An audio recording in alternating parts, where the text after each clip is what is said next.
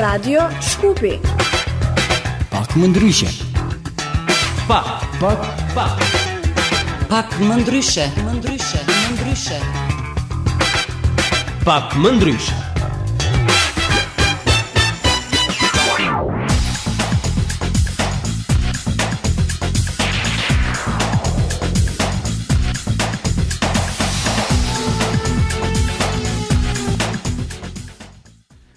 Përshëndetje të nderuar dëgjues të frekuencave të Radio Shkupit. Mirëmbrëma për të gjithë. Sot jemi e martë 21 mars, do të shoqërohemi së bashku me emisionin e përjavshëm pak më ndryshe me ju si çdo herë në udhëheqje unë Hajrush Mani, ndërsa e, sot me mua e, nga ana tjetër tekniku Sead Mustafa. Shpresojmë që do të kalojmë çaste të mira gjatë e, këtyre minutave që kemi rezervuar për ju. Si zakonisht, mundohemi që gjithmonë në studio të kemi mysafir të ftuar special me të cilët edhe flasim për gjithçka që sa i përket jetës së tyre. Ju të gjithë të cilët na përcjellni edhe përmes rrjeteve sociale, Facebook e keni parë që në faqen tonë Radio Shkupi dhe të emisionit pak më ndryshe kemi bërë paralajmërim që më herët, gjithsesi kemi bërë diku rreth 2 orë më parë paralajmërimin se i ftuari ynë sot do të jetë personi i cili merret me një punë shumë specifike është zoti Nuredin Mustafa, i cili kemi përshkruar se për momentin po kryen punën e zjarrfiksit, ndërsa ka shumë çka të na thotë të na flet për jetën e tij, e cila sigurisht që ka pasur shumë sfida deri të arrijë në këtë punë që dhe këtë profesion që po e kryen deri më tani. Ë ne gjatë këtyre minutave sa do të jemi në shoqëri me ju, sigurisht që do të shoqërohemi edhe me muzikë. Pikërisht bashkëpunëtori ynë i muzikës Driton Sulejmani ka bërë një përzgjedhje të mirë të këngëve. Sot meqë jemi edhe 21 marsi që shënohet si dita e pranverës, kemi zgjedhur disa këngë që bëjnë pikërisht kanë do thotë porosi për këtë për këtë ditë.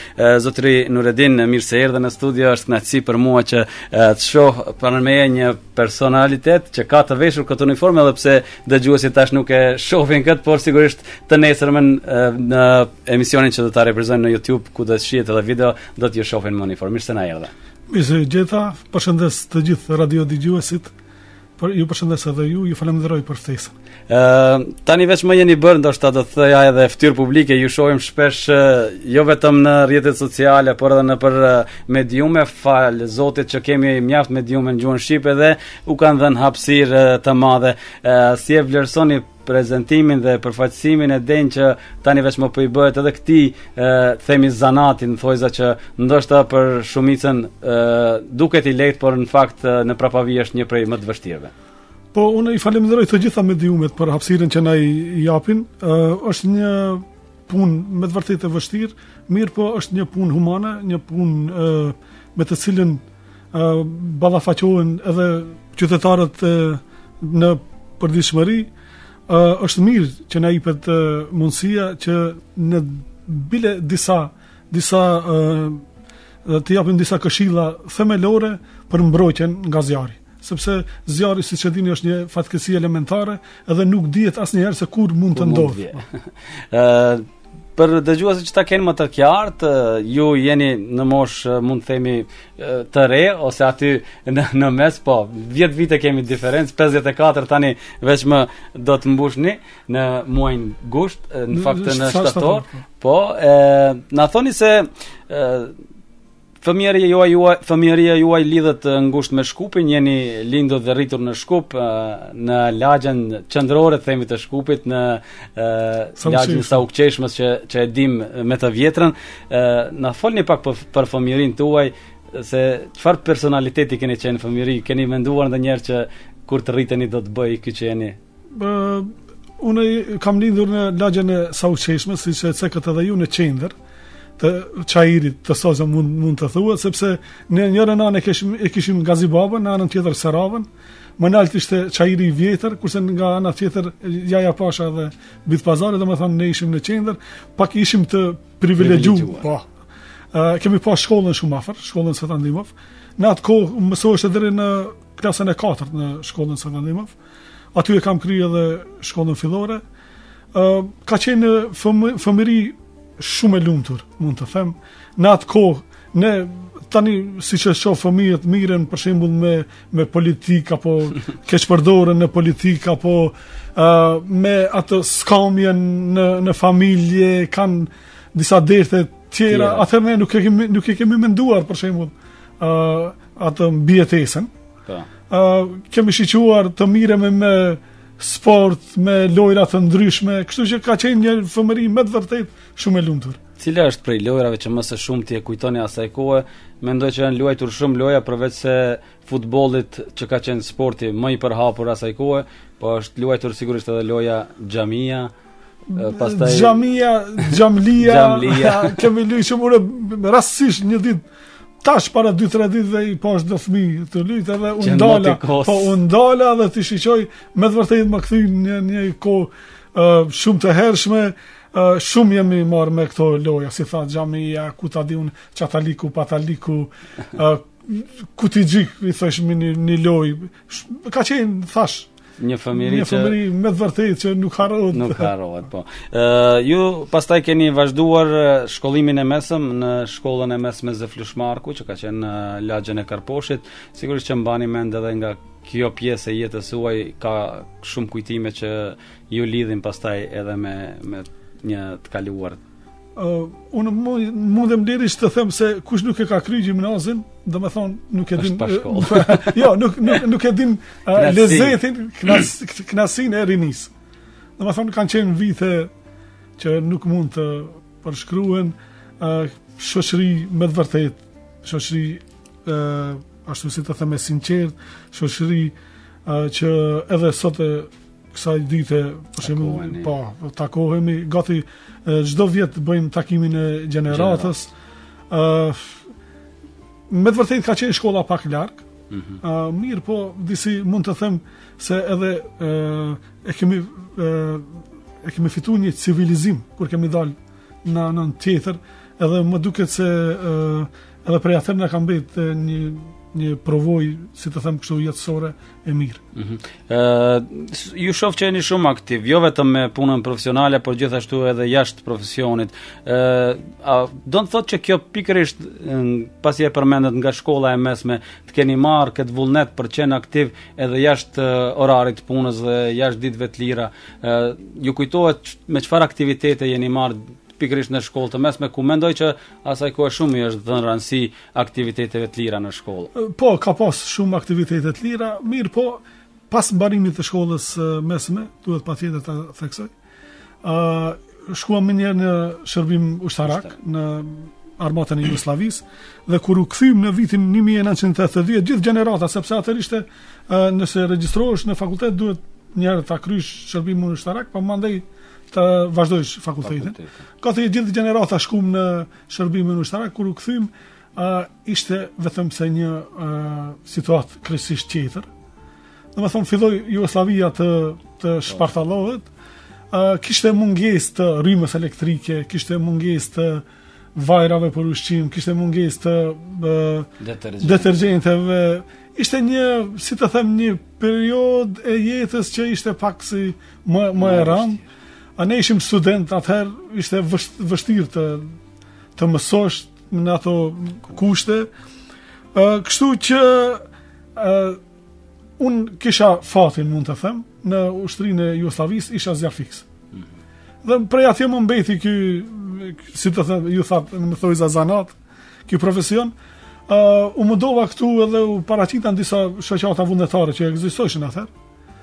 Ë uh, mirëpo Pasi që pas dy viteve u largova nga fakulteti, isha i regjistruar në Fakultetin e Bujqësisë, atëherë vendosa që të punësohem në brigadën zjarrfikëse, pata fatin, mund të them lirisht se pata fatin, se ishte edhe fat i madh të punësohesh në atë kohë në brigadën zjarrfikëse, u punësova, kam punu në Bit Pazar si shitës në, në tezgë, vite të tëra edhe në punë shtetit edhe sepse ashtu ishin kushtet patjetër që të po, punosh që të mbijetosh po. po. Fëmijët unë lirisht mund të them se nuk i mbaj mend bile si si janë rrit fëmijët të mi se s'kam pas kohë po, as t'i t'i shoh po. Kështu që pas një periudhe kur vetëm u stabilizova pak ë Ndërtova shtëpi, disi pak u relaksova dhe vendosëm me kolegët e mi që jemi në brigadën zjarrfikëse të qytetit të Shkupit, vendosëm të formojmë një uh, shoqatë vullnetare zjarrfikëse në komunën e Çairit. Kështu që Pas disa bisedimeve dhe arritëm qëllimin.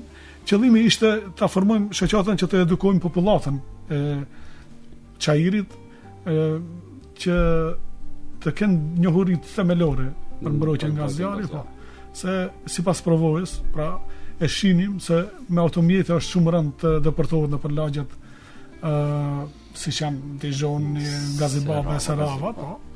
Edhe e prumë vendimin të formojmë shoqatën, shoqata ekziston gati 6 vjet, uh, thatë uh, aktivitete, për po tash, uh, unë e falënderoj Allahun që ma ka dhonë shëndetin, për shembull, po. më ka dhonë mundësitë, uh, falënderoj familjen që kam edhe përkrahjen e tyre, dhe kështu që uh, patjetër të mirresh me, me diçka. Kur nuk jam, po. për shembull, në shërbim në, mm, në brigadën zjarrfikëse, po në kur nuk jam profesional, jam zjarrfikës vullnetar. Kështu që, domethënë, 24-7 jam zjarrfikës. Po, do të kthehemi, pastaj do të flasim pak edhe më detajisht për çështjen e brigadës vullnetare që edhe e udhëheqni, por sa ishte e vështirë të adaptoheni ju si 22 vjeçar keni filluar të punoni profesionalisht. Edhe pse thatë që keni pas përvojë nga shërbimi ushtarak, po njëkohësisht është dashur pastaj të të kryeni edhe kurse tjera me që nuk keni nuk ka shkolla po. adekuate për për zjarrfikës në po. Maqedoni. Po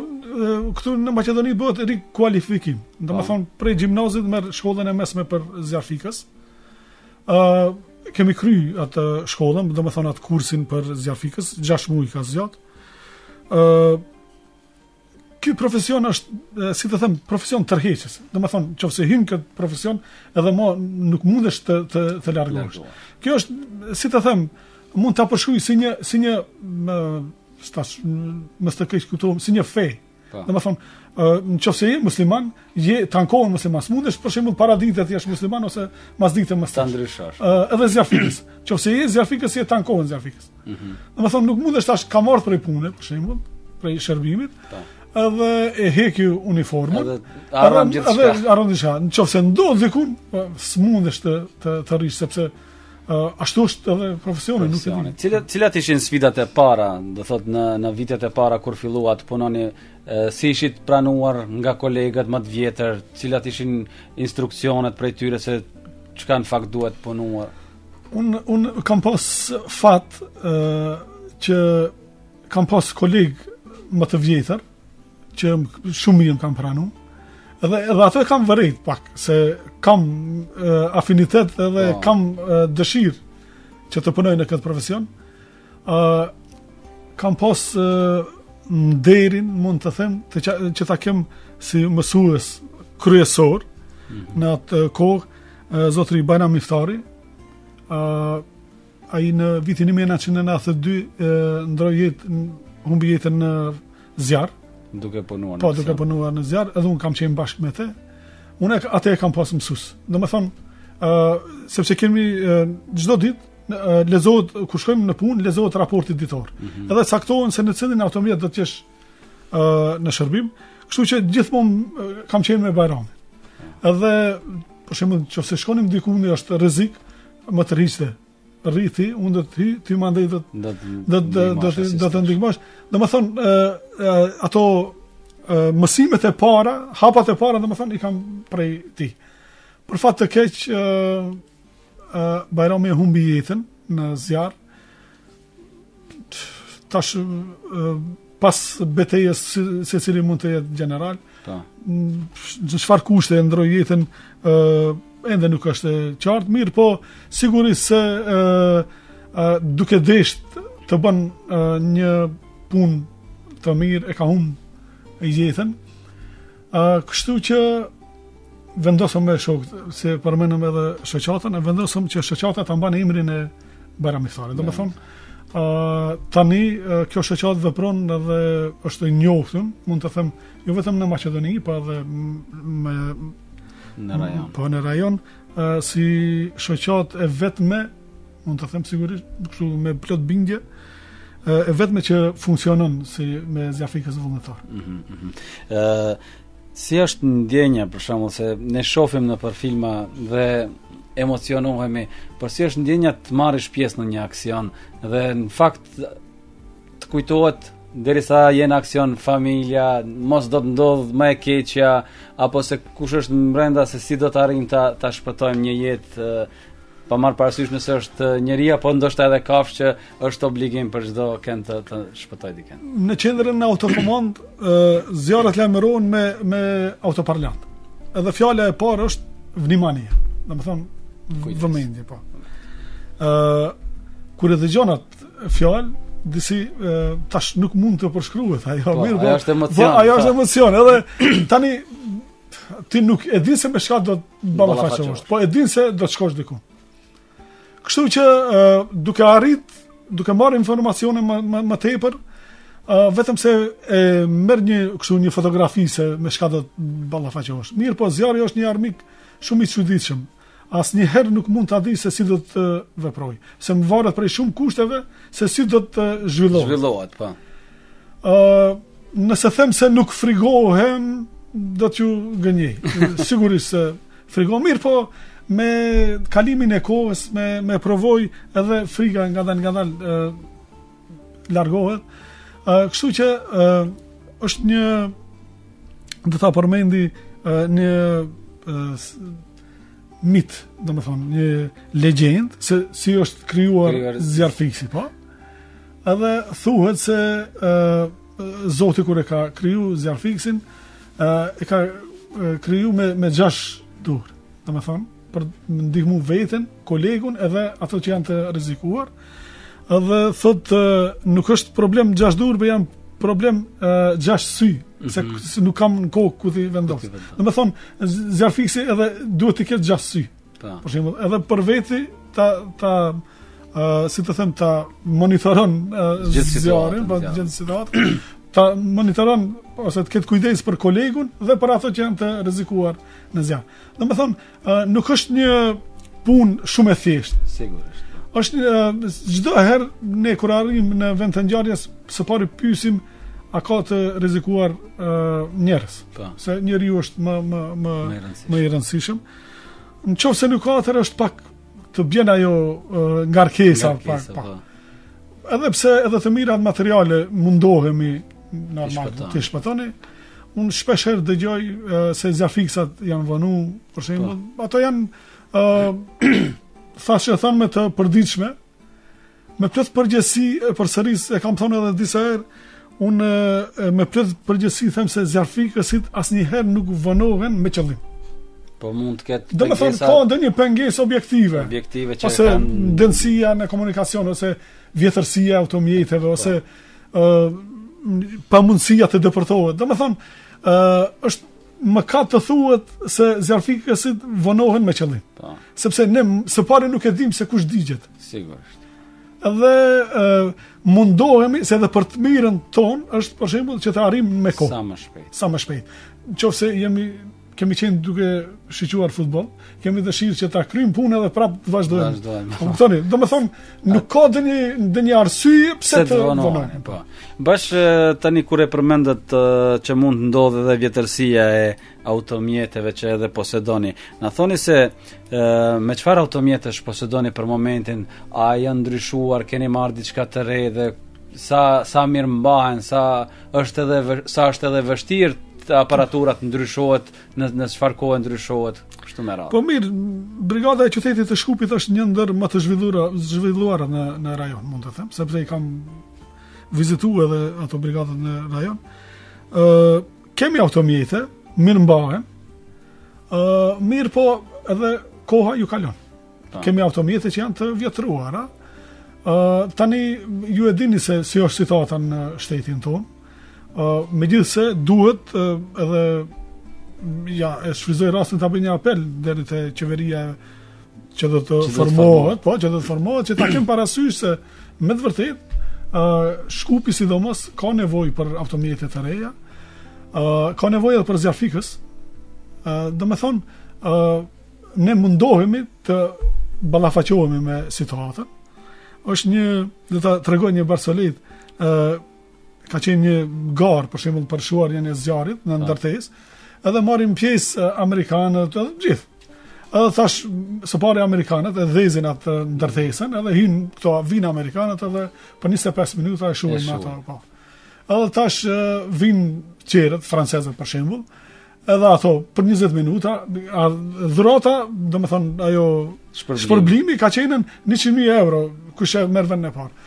Edhe vinë zjarrfiksat tonë, edhe hynë me gjithë automjet mrena, edhe shpejt e shpejt me ato roba që i kan pas, edhe shujnë zjarrin, për 6 minuta dalin. Mm -hmm. Edhe tash këto ma, ma shpejt edhe gazetarët shkojnë edhe pysin, çka do të bëni me, me, me paret që, thotë, e para që do të bëjmë frenat e automjetit do t'i do t'i do t'i ndrrojmë.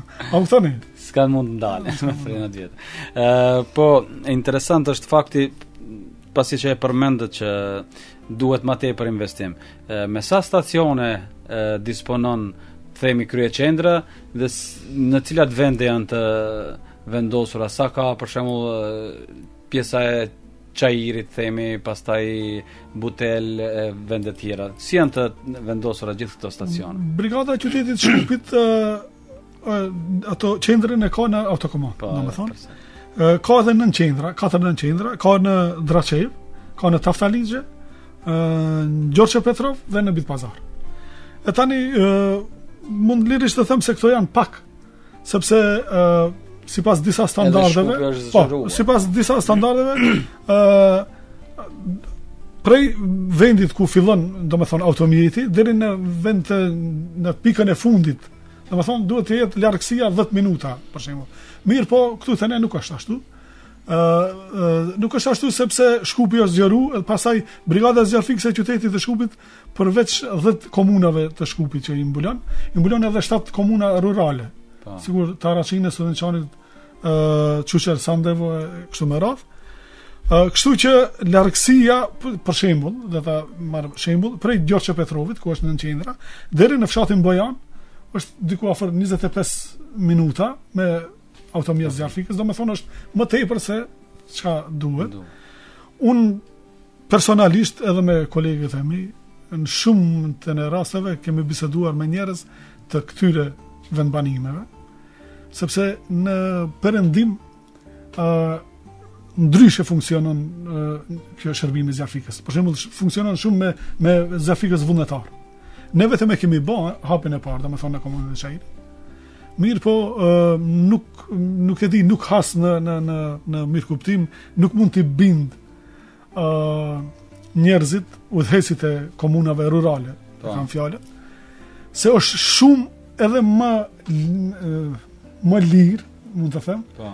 Edhe edhe më më efektive të kenë njësit apo shoqatat vullnetare zjarrfikse në, në vendbanimet ku janë. Po. Ë uh, shumë më lehtë mund të reagohet, mirëpo deri tani për fat të keq nuk kam has në mirëkuptim. Po. Po, flasim edhe për numrin e të punësuarve. Ë aty ku jeni ju, sa keni të punësuar, si është mosha dhe në fakt sa kemi shqiptar. Ë tani mund të them lirisht se numri është shumë i zvogëluar, sepse viteve të fundit ë në atë kohë, për shembull, para 30 viteve, ku ta di, ë është ndërtu rafineria e, e Shkupit edhe shumë zjarrfikës prej brigadës zjarrfikëse kanë shku atje. Mm -hmm.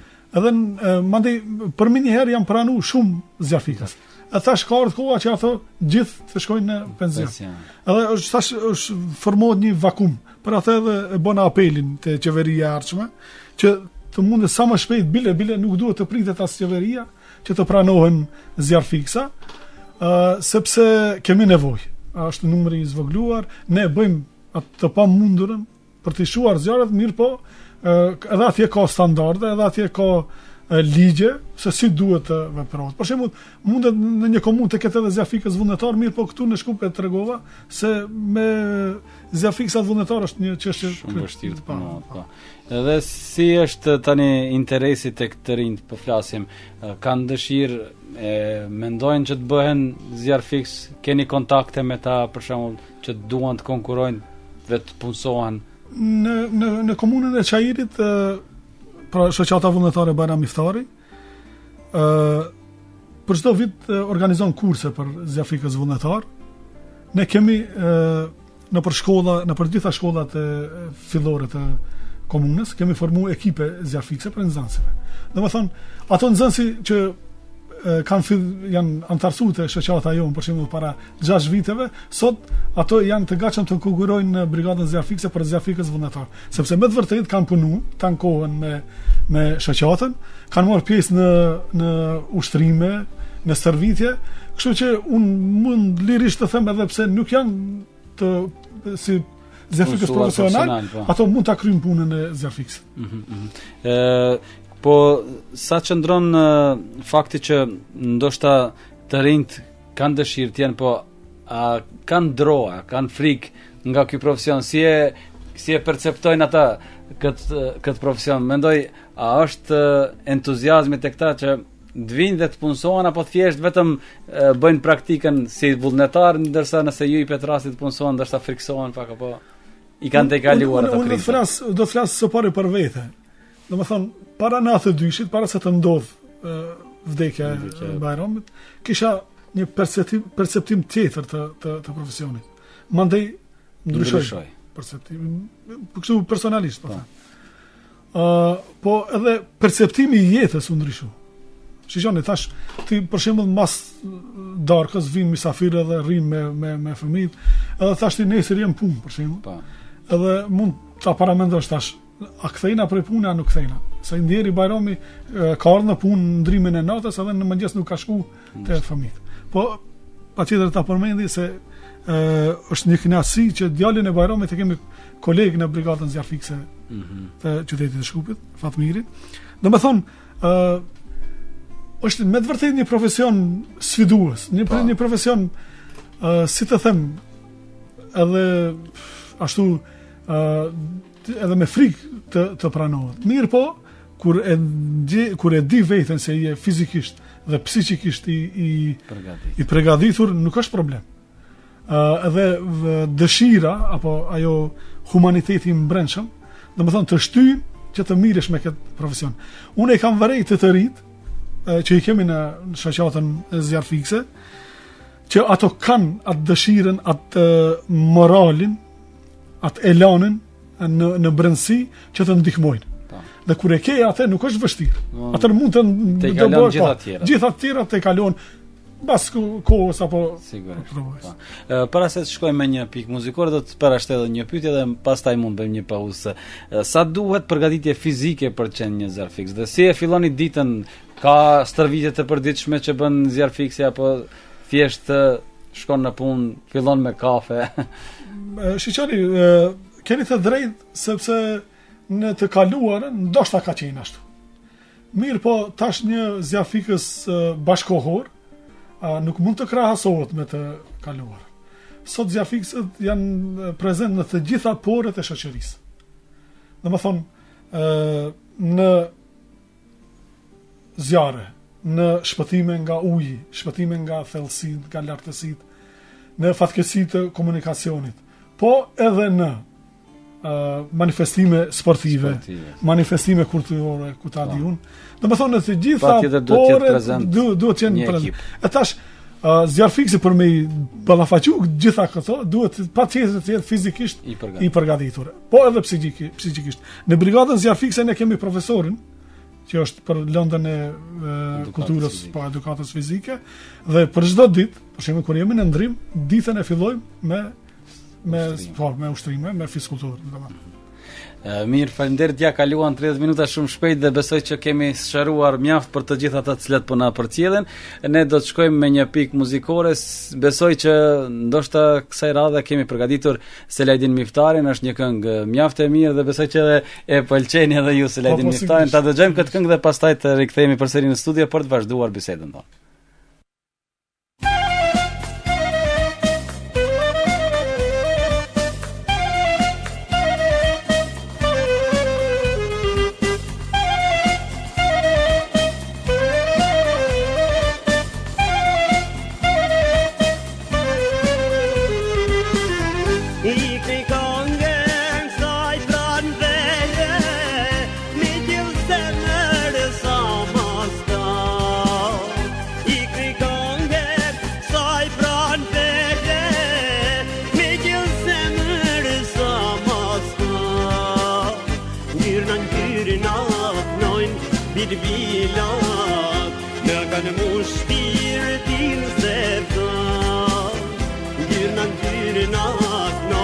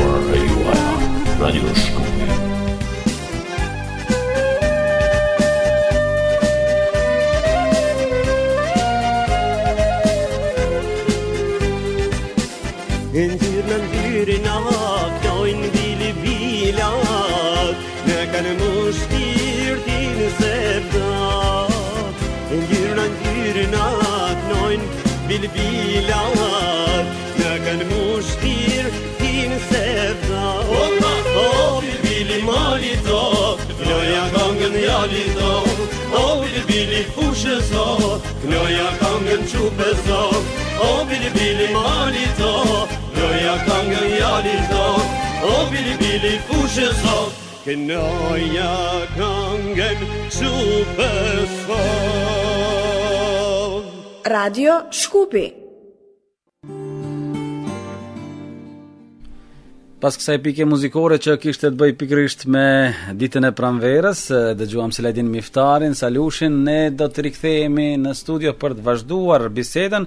Për ata të cilët ndoshta me vonesë janë inkuadruar në frekuencat e Radio Shkupit, ju njoftojmë se po flasim gjithmonë me zjarrfiksin zoti Nuredin Mustafën dhe deri më tani kemi treguar shumëçka por ka mbetur edhe shumë gjëra për të thënë ne do të rikthehemi tani vetëm edhe një herë aty ku e filluam me me arsimimin. Ë në bisedë sipër ju më thatë që keni filluar fakultetin e bujqësisë, por nuk e keni mbaruar. E më pas keni diplomuar në Fakultetin e Shkencave Islame këtu në Maqedoni.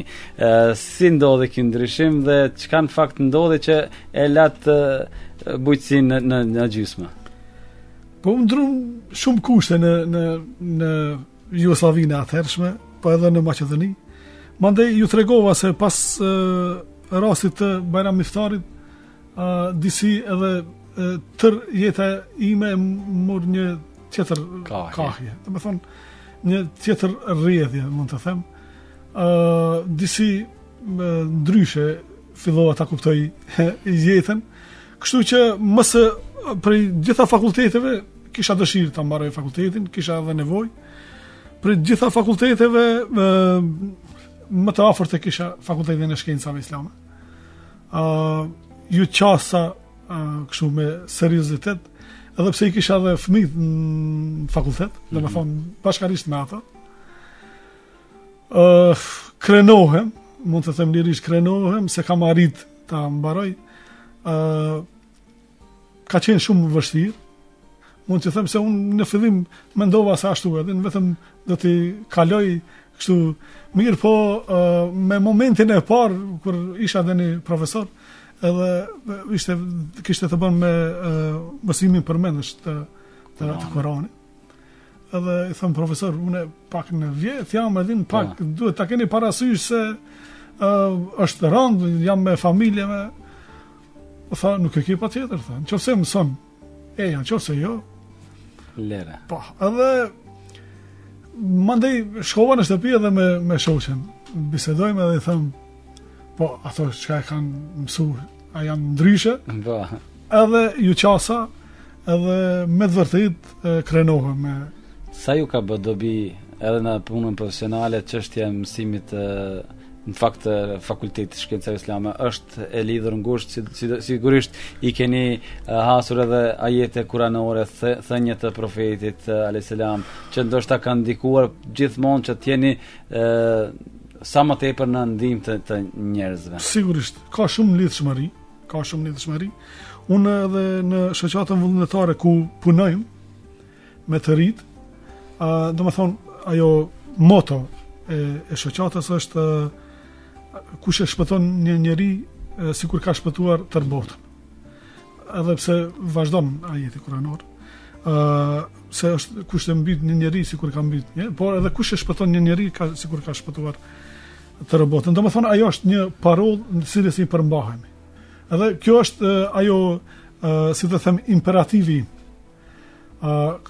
ka dhe lidhshmëri tjera shumë. Mm -hmm. për shembul, uh, ne gjithmonë luftojmë kundra zjarrit në këtë botë, po. Uh, po duhet të pregatitime që edhe në botën tjetër të jemi të gashëm. Mos të jemi po, në, në, në zjarr. Të mos kemi punë bile me zjarr. Me, me zjarr po. uh, sigurisht se po.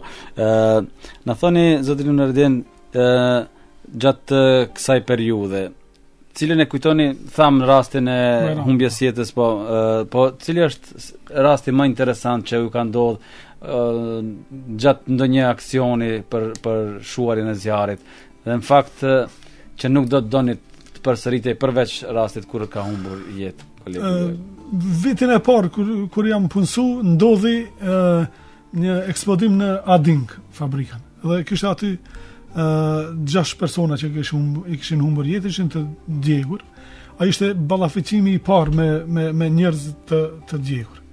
Dhe atë fotografi asnjëherë nuk mund ta ta harroj, edhe më kujtohet mirë se ishte e, Ramazan, domethonë agjëronim. Dhe thash pasi e mbarum atë intervenimin, aksionin, edhe na prun kështu jogurt. Po. Për për të pastruar. Pastru. Uh, unë s'mundesha ta, se isha agjërueshëm edhe, po edhe nuk mundesha kështu ta, ta si, duke më ndejt ajo fotografia para syve. Besoni se as në iftar nuk kam hongër, domethonë, edhe disa dit me radhë se Asnjëherë nuk mund ta atë fotografi ta. Ka shumë gjatë këtyre 31 vjetëve tepër, ka shumë asi fotografi, po tani në kohën e fundit si udhëheqës i aksionit më rrin ashtu si si si të them si si si përgjegjësi mund të them si Ë uh, kjo vajza në në Çair që po, humbi jetën, ë uh, kisha uh, si të them fatin apo taksiratin që unë ta gjej atë uh, vajzën, po me me një koleg hynëm të dy nuk ja dishim emrin se ne mendosh mendonim se është gjallë dhe ta thirrim po. po edhe pse me aparate është shumë rëndë të dëgjohet po Edhe kolegi prej jashtë, unë prej mbrenda edhe u takum kështu se nuk u shifte prej mm, tymit. Ë uh, u mshum njëri tjetrin me kokë edhe e gjete, jo. Dhe pastaj ajo fotografia për shembull që unë ë uh, asnjëherë nuk do ta harroj. Domethënë uh, ka shumë shumë uh, momente ose njëherë Ë, kështu ndoshta është pak morbide për për dëgjuesit me i dëgju këto gjana, po duhet ta dinë se me çka ballafaqohen po. zjarrfikësat po. Njëherë kishim një person që kishte ra një muj në në në në bunar. Mm -hmm. Edhe duheshte ta ta nxjerrim. Ë 10 metra ishte bunari edhe ishte e pamundur të Të hysh edhe ta lidhish atë dhe ë uh, domethonë edhe ajo e vështirë. E vështirë. Uh, një herë uh, prej lumit Vardar duheshte ta nxjerrim një të të të ngulfatur, edhe ë uh, unë ishte ishte zonë në një degë kështu atë, edhe unë e shkoj edhe e kapi për krahu mm -hmm. që ta nxjerri, edhe paramendoni ndahet trupi prej. Edhe do të thotë janë, momente, janë momente mirë po tani kur e ke zgjedh kët profesion do të ballafa po do të ballafaqosh edhe disi gjatë kohës edhe vetëm po po sigurisht ka edhe momente të mira që keni shpëtuar jetë që edhe ju bën të lumturoheni pastaj edhe ta mendoni ta largoni të keqen më thoni pak edhe disa momente që po, kanë qenë shikoni çdo çdo intervenim i suksesshëm është për ne i suksesshëm është do të po, kënaqësi në vete kënaqësi në vete Ë uh, ne ë uh, shumë të në rasteve bile kur arrim, për shembull, diku të shpëtohet ndonjë njeri apo ndonjë e mirë materiale, edhe kur kthehemi ashtu edhe me me këngë për shembull ato zjarrfiksat mirëpo edhe me disi edhe qerasim, a kuptoni? Po. Domethënë janë ato momente ë uh, edhe pse unë mund të them gjatë kësaj periudhe Prej kur jam zjarrfikës, nuk maj mend që ka pas ndonjë zjarr që ka dështu. Mm -hmm. Domethënë. Uh, mirëpo, çdo herë në një zjarr, kur ka të uh, humbje të jetës apo të mirave materiale, është edhe pse nuk, nuk është faji ynë, po. mirëpo, nuk është kënaqësi, për shembull, në qoftë se ka ndonjë dëm, nuk është ajo që po, të po, krenohesh po. Na thoni se sigurisht ju parapërgatiteni për çdo stinë, secila stinë ka sfidën e vet, vjeshta me reshje të shiut, pastaj vera me mundësi më të mëdha për ndezje të zjarreve kështu me radhë. Si përgatiteni dhe a ndryshon do të thotë etapa nga stina në stinë? Po sigurisht se ja prej tani kemi filluar vetëm të bëjmë përgatitjet për sezonin e verës. Domethënë verës janë zjarre në hapësira të hapura, po janë më të shpeshta, kështu që bëjmë ato kualifikimet, klasifikimet e, e, e automjeteve, për shembull, cilat do të jenë të përgatitura për e, intervenime në sipërfaqe të hapur, kurse ë ta përmendi vitin e kaluar për shembull, ne pritnim zjarre në sipërfaqe të hapura, mirëpo na ndodhën ë vërshimet, na ndodhën tërmetet, domethënë, na ndodhi ftofti, domethënë, po. gati se të gjitha ato fatkeqësitë elementare na ndodhën për, për një vit. Po, kjo është dhe kjo është një provojë për, për, për mhm. ne zjarrfikësit. Po, Përveç kësaj, ne, domethënë, vitin e kaluar u përballëm me një sfidë mjaft të madhe për gjithë si si si shtet, që ishte një prej vërshimeve që do të do të mbahet mend për gjatë kohë. Na thoni se si si e tejkaluat ju këtë krizë, cili ishte ishte aktiviteti juaj, pastaj kemi parë nga fotografitë që keni pasur bashkëpunime me e, shumë shoqata të ndryshme nga Turqia që kanë ardhur, keni bashkëpunuar sigurisht edhe me zjarrfikës të huaj. Na thoni pak edhe për përvojën pikërisht në në lagjet të që të cilat ishin të prekura nga vërshimet dhe bashkëpunimet me organizata të tjera, qofshin zjarrfikëse apo edhe shpëtimtarë të tjerë.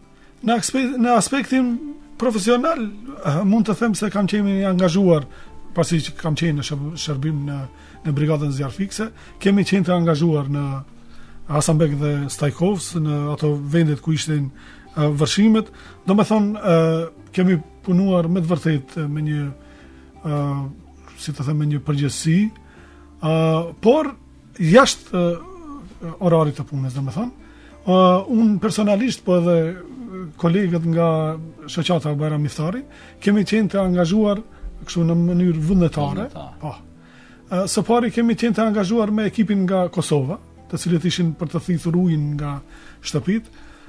Kemi punuar me ta, bile tash ishin edhe disa prej tyre edhe misafirë në kuvendin vjetor të shoqatës. Pastaj, kur erdh ekipi nga Stambolli, nga, nga Turqia, domethënë, u kyqëm edhe me ato, sepse kishin nevojë ato për ndihmë, Sigurisht se ato e bënin punën e tyre, mirëpo kishte nevojë për përkthime, kishte nevojë për për të ndihmuar se edhe edhe ato ishin njerëz. Sigurisht. Edhe, unë dhe, me si të them, dua kështu publikisht një një një falënderim t'jau shpreh sepse ato nuk e kanë kursy veten asnjë moment për të ndihmuar, domethënë. ë uh, Unë jam habit për, për vete, edhe, edhe gjithë kolegët e brigadës të Shkupit janë habit me punën e tyre. Do të me çfarë entuziazmi kanë. Me çfarë entuziazmi po, kanë ardhur prej atje dhe kanë kanë punuar. Ë uh, ne si shoqatë jau bëmë një ë uh, si të them një një surprizë, ju dhamë nga një uh, fanellë të shoqatës me mbishkrim Hasanbeg 2016 uh, që t'ju mbetet si kujtim. Ato uh, na i lanë uh, 25 tuba apo zorrë zjarrfikëse në shoqatë për të që na shërbejnë për ushtrime. Kështu që kemi pas një bashkëpunim me të vërtetë të frytshëm, uh, jemi në kontakt edhe me ato. Kemi bashkëpunim edhe me shoqata tjera në në Evropë edhe në Maqedoni, po për fat të keq në Maqedoni shumë pak shoqata vullnetare ekzistojnë. Me janë ato në në Mirë po bashkëpunimi po, po, është. Shumë shumë pak punojnë prej këtyre. Mm -hmm. Në Maqedoni ekziston lidhja zjarrfikëse e Maqedonisë. Domethënë ka edhe lidhja zjarrfikëse e qytetit të Shkupit, po edhe komuna jonë ka lidhje zjarrfikëse. Këto lidhje zjarrfikëse përbëhen prej shoqatave vullnetare zjarrfikëse, po. Edhe ato kanë ë qëllimi i tyre është që të edukojnë popullatën, domethënë atë që bëjmë ne. ë kështu që Ne jemi si një urë në mes të lidhjes zjarrfikëse dhe brigadës zjarrfikëse të qytetit të Shkupit, por dhe në bashkëpunim me ekipet nga jashtë që vijnë, kështu që sa keni marrë pjesë në ndonjë aktivitet ndërkombëtar dhe a është e regjistruar shoqata juaj në ndonjë organizatë ndërkombëtare si organizatë vullnetare. Operation Florian është një organizatë nga Manchesteri, e, e Britanisë së Madhe. Ë ato ne kemi përpiluar një një një platformë, si të them, një plan për mbrojtjen e komunës së Çairit nga zjarret. Mm -hmm. Edhe atë platformë e kemi dërguar te ato që ta shqyrtojnë. Domethënë, është në rregull apo jo? Ato kishin kërkesë që të vijnë në vend të ngjarjes edhe ta shohin se a është adekuate apo jo. Për vendin po. Po, ishin 4 ditë në komunën e Çairit, e vizituam, i vizituam të gjitha këto lagje. Lagjet tona. Kështu që e, mendimi i tyre ishte që vetëm në atë mënyrë ne si e kemi parapa, të e, mund të mbrohet komuna e Çairit. E tash çka përmban ajo platforma? ë uh, uh, ajo platforma përmban për shembull në lagjet më të dendura, në objektet publike, për shembull shkolla, xhamia, kisha ku ta di un, apo ndonjë supermarket që punon të natën, të të vendosen ë uh, shtesat e hidrantit, tubat ose oh. zorrët zjarrfikëse, uh, aparate zjarrfikëse, petkat mbrojtëse, por edhe popullata që është në rrethinë, të edukohet apo të se si duhet të reagojnë të, të po të ë për zjarrfikës, kështu që ato në momentin e parë ato të reagojnë. ë uh, shpresoj unë asnjëherë nuk i humbi shpresat se do ta arrijmë. Po, do edhe patjetër është realizohet kjo.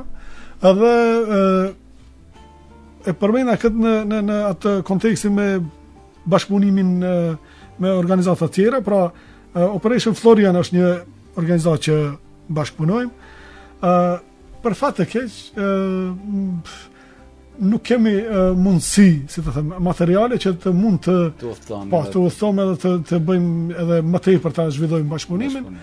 Mirëpo shpresojmë se në të ardhmen do të vijnë ditë më të mira dhe do të Po mirë, keni vetëm 6 vite që po, po funksionon, po, shpresojmë që ashtu si kalojnë vitet edhe të rriteni në të gjitha aspektet, po. Ë, folëm gjatë gjithë kohës që vetë fakti profesioni juaj është goxha i rrezikshëm, ë ju është ju është mundësuar që të dilni më herët në pension. Çfarë moshe dilet në pension dhe sa janë benefitet që i sjell ky profesion jashtë përfundimit të karrierës së zjarrfikës edhe pse ju do të vazhdoni sigurisht të punoni vullnetarisht më pas.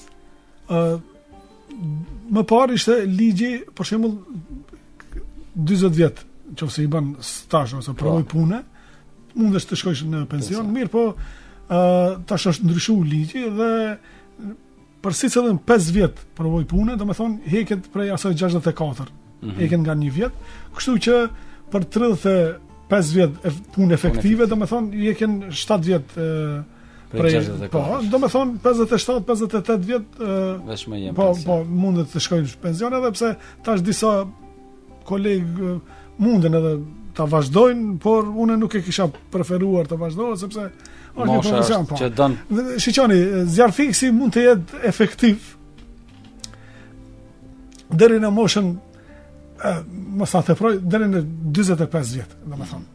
Pas asaj duhet t'i gjendet një, një vend pune ashtu që të mund për shembull të punon të edukon të ri. Zjarrfikësa të ri apo të shkon nëpër shkolla të edukon. Efektiviteti i zjarrfikësit ashtu është shumë e rëndësishme, sepse mm. secili kur i digjet shtëpia për shembull edhe mua mund të më digjet shtëpia, un kam dëshirë të vjen një zjarrfikës që është që është i përgatitur, edhe ta ta ta shuan zjarrin. Kuptoni? Domethënë duhet Të ta ketë edhe shteti duhet ta ketë kët parasysh. Po. Na flitni pak edhe për gradat, shohim që keni me vete grada, cili është do thotë grada juaj në në kët profesion dhe deri ku arrin po, t'jenë. Në brigadën zjarrfikëse të qytetit të Shkupit, pra janë zjarrfikësit dhe vozitësit. Pastaj ka udhëheqës të grupës, i cili udhëheq për shembull deri në 7 Zjarrfikës. Mandej ka udhëheqës komandir apo në shqip i thonë komandant, edhe për atë bëhen edhe shumë keqkuptime. I, i klasës ë që e udhëheq një klasë. Klasa përbohet prej 7 deri në 9 zjarrfikës po. Ë pastaj kemi ë komandirin e nënqendrës. Mm -hmm. Për shembull në Bit Pazar në Draçevë si i theksuam edhe më herët. Kemi katër ndërrime që përbohen prej katër çetave. Po. Ë në njërin prej ndërrimeve, domethënë në njërën çetë, unë jam zëvendëskomandant. Mhm. Po. Kjo është grada më e lartë. Më e lartë. Po. po për për shqiptarë apo me thënë. Po. Ka edhe mandej komandiri i çetës, ka ndihmësi i komandantit, zëvendëskomandant edhe komandant. Po. Ë ju jeni prind i tre fëmijëve, ë asnjë prej tyre nuk ka të bëjë me profesionin e juaj. E, I keni edukuar edhe ata që në këtë rast do të të marrin Jo, nuk nuk keni të, nuk keni të drejtë, nuk keni të drejtë, sepse ë në shoqatën vullnetare zjarrfikëse Bajram Miftari, ë dy vajza e kanë kry kursin, kursin për vullnetar, për zjarrfikës vullnetar, është njëra prej tyre vajza ime. e vogla, domethënë, edhe vajza e madhe ka njohuri, edhe djali, djali e kam jashtë djalin në Belgjikë, edhe është i regjistruar si zjarrfikës vullnetar, edhe pret kur ta thrasin për me kry kursin atje. Domethënë, kjo është një si të them një profesion familjar. familjar. Domethënë uh, kur bëhesh zjarrfikës edhe gjithë uh, janë me ty. Po. Si është jeta e një zjarrfikësi? Sigurisht keni përvojë, keni dëgjuar nga kolegët tuaj e një zjarrfikësi pensionist, pensionist. Çfarë aktiviteti bën se është një jetë shumë dinamike gjatë gjithë kohës dhe përnjëherë pensioni ndoshta nuk u bën mirë. Unë unë i kam tash pensionistë të ri që kanë dalë nga brigada zjarrfikëse, janë në shoqatën, prej formimit janë në shoqatën vullnetare, Bajram Miftari. Domethënë, ato tash, uh, gati për çdo ditë vijnë në shoqatë, edhe bisedojmë, edhe i angazhojmë, kur kemi ushtrime, për shembull, në, në, zakonisht, uh, huazojmë një automjet zjarrfikës nga brigada zjarrfikëse, dhe ato janë vozitës, mm -hmm. ato i angazhojmë ta marrin, apo e bëjnë atë punë me plot knaqësi. Po, po. Sigurisht. Domethënë, uh, edhe pse janë pensionistë, nuk janë pasivë. Nuk, po, janë pasivë, po. Uh, fillimisht zoti Tot ju falënderoj për kohën që gjetët dhe që ishit pjesë e emisionit pak më ndryshe ne do të kishim folur edhe shumë gjëra tjera mbetën shumë gjëra pa u thënë por shpresoj që nuk do të jetë ky takimi i fundit pasi që do t'ju japim hapësirë edhe hera të tjera. Ë para së gjithash ju uroj shëndet dhe sa më pak punë me zjarre e më shumë punë me çështje që do të shpëtoni ë jetra njerëzish edhe edhe kafshësh, pse jo. edhe njëherë ju faleminderit që gjetët kohë dhe ishit pjesë e emisionit pak më ndryshe. Edhe unë ju faleminderoj përzemërsisht në emër të gjithë zjarrfikësve të brigadës së qytetit të Shkupit, po edhe të zjarrfikësve vullnetarë të shoqatës Bara Miftari. Kënaqësia ishte imja, uh, është ndër të marrësh pjesë në një emision kështu të dëgjuar. Shpresoj që do të jemi edhe ne pjesë e ndonjë aktiviteti tuaj, edhe pse neve nuk punojmë shumë me kamera, po Thjesht mikrofoni i ynë do të jetë afër jush. Të nderuar dëgjues, këtu do të ndahemi me emisionin pak më ndryshe. Ju përkujtojmë se redaktore e redaksisë rekreativo-zbavitëse është Zuhra Sabedini, redaktor dhe udhëheqës i emisionit unë Hajrush Mani, mjeshtër zëri sot me mua Seat Mustafa, bashkëpunëtor muzike Driton Sulejmani, producente Merita Shakiri, kryeredaktor i servisit të tretë Hakim Mustafa. Ju rikujtojmë se emisionin do të keni mundësi ta ndiqni edhe sonte në reprizim prej orës 23, ndërsa që nesër do të keni mundësi të na shikoni edhe në kanalin tonë zyrtar në YouTube. Deri javën e ardhshme bashkë mirë dëgjofshim.